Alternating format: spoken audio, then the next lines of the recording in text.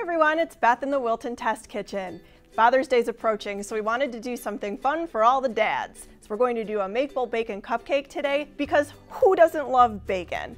So to start, I've already baked out my chocolate cupcakes. You can use your favorite scratch recipe or a homemade mix. We're going to do a few different kinds of toppings on our cupcakes. So the first thing to do after you bake them out is make your bacon. And I'm going to do that on this griddle pan, which I love because as the bacon cooks, all of the grease settles into the ring around the edges and keeps the bacon up out of it. It makes it super crispy, just the way I like it. So I'm using regular cut bacon for this, not thick cut. And you just want to arrange the slices on the pan and they can actually touch each other on the pan. And don't worry if they hang over into the moat around the edges because bacon shrivels up so much as it cooks, they're going to make get shorter and they're also going to cook away from each other. Now we're going to bake this at 400 degrees for about 15 minutes and it's gonna get really crispy. And one of the perks of baking your bacon bacon your bacon in the oven as opposed to cooking it on the stove top is that your stove top's not gonna get all splashed with grease. Plus, I think the bacon smell doesn't linger as long when you've cooked it in the oven. Cut about half of the bacon into pieces between an inch and three inches long. We're going to use these pieces to make a fabulous chocolate bark that sits atop the cupcakes, so now we need to melt down some candy melts. I'm using light cocoa candy melts for my bark. Just melt them down according to the package directions. I'm going to use the microwave. So now we're just going to pour our melted candy into a sheet pan. Delicious. We're going to spread it thinly. I want it to be about an eighth of an inch thickness.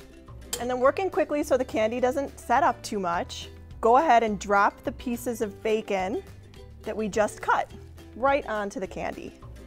Give them a little bit of a press so that they adhere.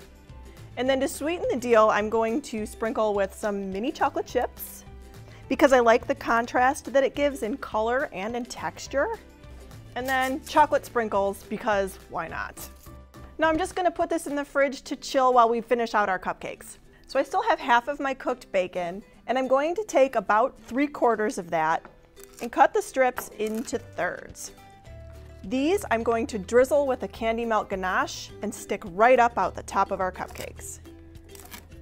And then you're gonna have a few strips of bacon left. These are actually just getting crumbled to go over. So this is kind of fun. Mmm.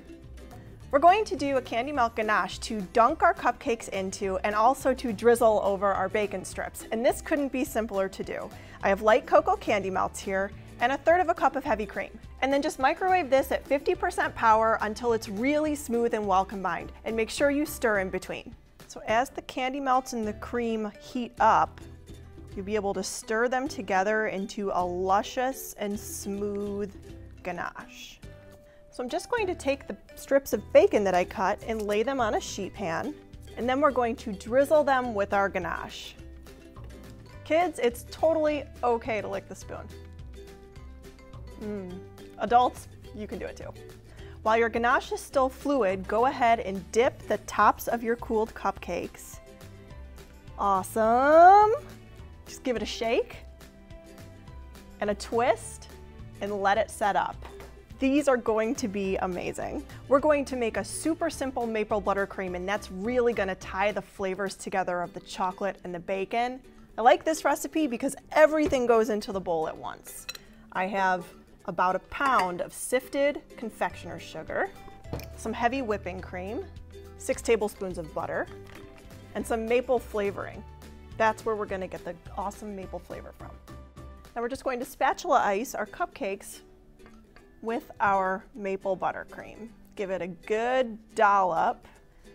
You need it to be a little bit tall so that we can stick all of our bacon pieces and candy bark into and have it have something to sit in. For the finishing touches, I've got my candy bark out of the fridge.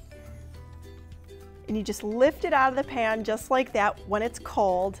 And you wanna cut this into big, tall shards. You could also just break it, and it'll kind of break a little bit as you're cutting it. Don't worry about it. This should not be stressful. So let's build this up. Take your iced cupcake. We're going to insert a piece of our bark a piece of our bacon check that out. And then finishing touches, a few more mini chocolate chips, some of that bacon we reserved, and why not a few more chocolate sprinkles. Now that's a cupcake everyone will love, especially dad. So what are your plans for Father's Day? Leave me a comment below and let me know. I'd love to hear. And let me know what your dad would think of these cupcakes. If you like this video, please give me a thumbs up and subscribe to the channel because Wilton always has new ideas coming for you and we'd hate for you to miss one. I'm Beth, see you soon.